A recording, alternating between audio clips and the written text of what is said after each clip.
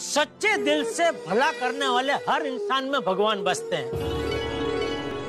एक डॉक्टर जो पेशेंट की जान बचाता है तो पेशेंट को डॉक्टर में भगवान दिखते हैं। एक किसान जो सच्ची मेहनत और लगन से अन्न उगाता है उसमें भगवान होते हैं।